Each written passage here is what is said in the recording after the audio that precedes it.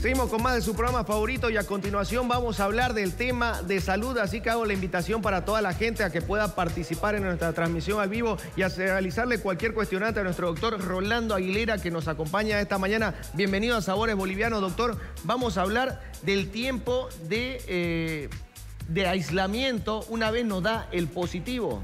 ¿Cómo sería eso, doctor? Buen día, muchas gracias por la invitación. Bueno, eh, durante toda la evolución de estos dos años de pandemia fueron modificándose el mm. tiempo de aislamiento y hace poco menos de, un mes fueron las últimas modificaciones que hizo el CDC, que es más o menos la, la entidad que regula todo esto. Y en los pacientes que eh, tienen vacunación completa, quiere decir las dos dosis más el refuerzo, eh, apenas eh, deberíamos mantener un aislamiento estricto, siete días más tres días de algo más de soltura, por poner un nombre, en el sentido del aislamiento completo no requiriendo ningún tipo de prueba para uno decir soy negativo, porque no existe eso. De hecho, uno debe decir no soy transmisible o no soy contagiante.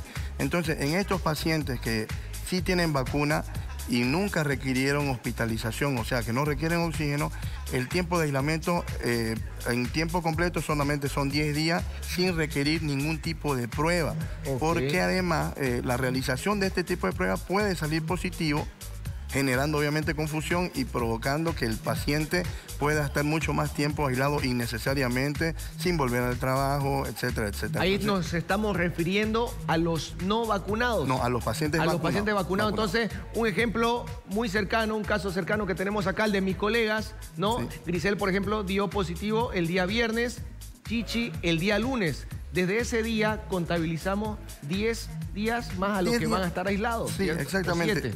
Siete. días y uno tiene una soltura, digamos, de tres días más, siempre obviamente manteniendo todas las medidas de bioseguridad, barbijo, el distanciamiento, aireación de las, áreas, de las áreas en común. Eh, pero como término medio, 10 días y ellos no deberían ser sin ningún tipo de prueba para decir vuelvo al trabajo y, y, nada más que eso, ¿no? En los pacientes no vacunados el tiempo también es el mismo, pero se mantiene los, sí o sí los 10 días de la fecha de inicio de los síntomas. En los, no, en los vacunados y que tienen una prueba positiva, a veces dos o tres días antes empiezo con la molestia y empiezo a contabilizar desde el inicio de las molestias o los síntomas. Eh, al momento de estar aislado, por ejemplo, le doy eh, mi caso, al inicio del año, eh, mi esposa y yo estuvimos con el COVID.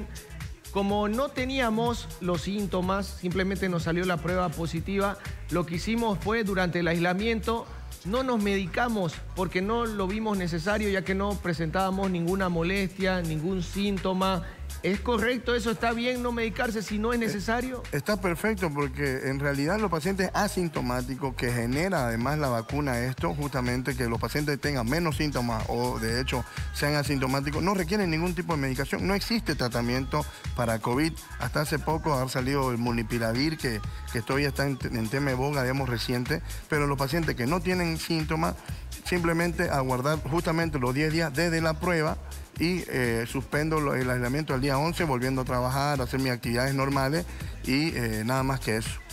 Bien, voy a entrar a continuación a las redes sociales del programa. Vamos a ver qué preguntas nos están dejando alguna cuestionante acerca de eh, cualquier tipo de cuidado que requieran. Por el momento, nada más me dejan saludos para usted, doctor que siga realizando una gran labor y que dónde lo pueden encontrar para hacer más consultas.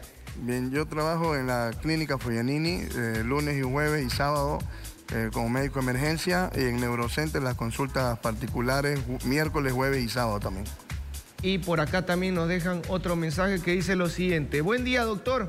Me hice la prueba soy positivo, se me complicó, estoy con neumonía, tengo muchas molestias, dolor de cuerpo, desgano y pese que tengo las vacunas. ¿Qué hago?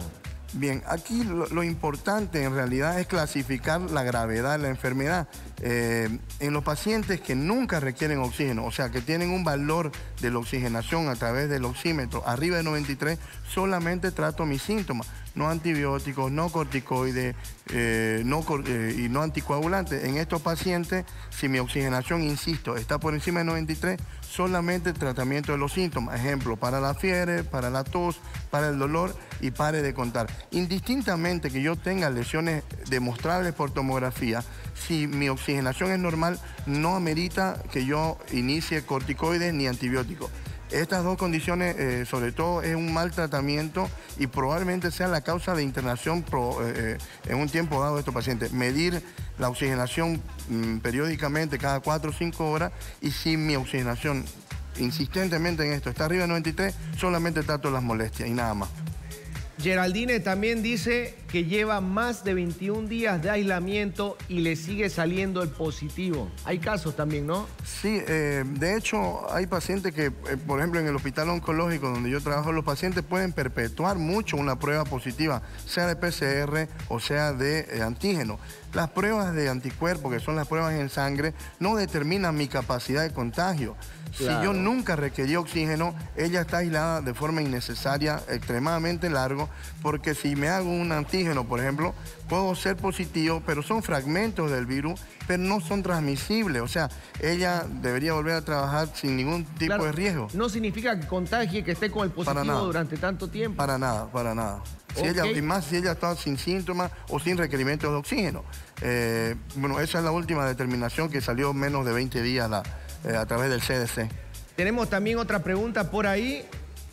Sí, tenemos muchas.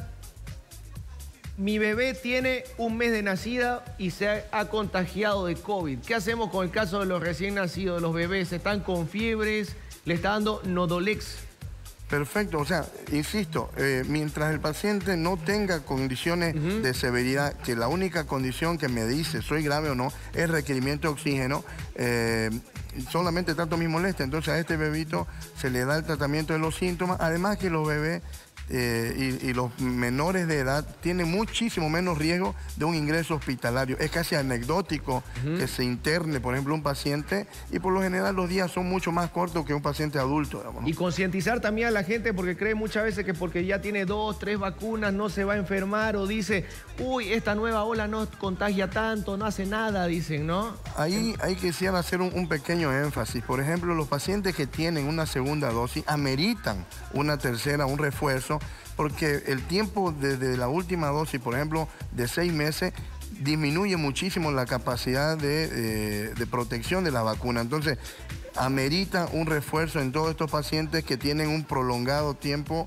desde la última dosis. Entonces, es necesario el refuerzo de forma inmediata.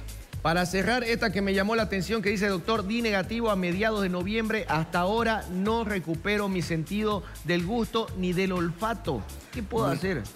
Las condiciones, por ejemplo, secuelares que da COVID, son, en, estos pacientes he visto un par de ellos que la pérdida de olfato no genera obviamente que yo sea grave o no, simplemente es una, aparición de un síntoma más eh, o de un signo y que eh, lamentablemente en ella puede ser prolongado. No hay tratamiento para esto, eh, no existe y lamentablemente va a ir recuperando de forma progresiva y más allá del tercer mes no he visto ningún paciente que que tenga este síntoma más. Muchísimas gracias, doctor, por acompañarnos, por liberarnos de tantas cuestiones. Hay un montón de consultas en nuestra página de Facebook, pero para que sea más personal y lo pueda encontrar, también vamos a dejar ahí su nombre y sus contactos, sus redes sociales, para que pueda acceder a una consulta con el doctor Rolando Aguilera. Muchísimas gracias por su tiempo. Gracias a ustedes. Hasta la próxima. Bueno, nosotros continuamos.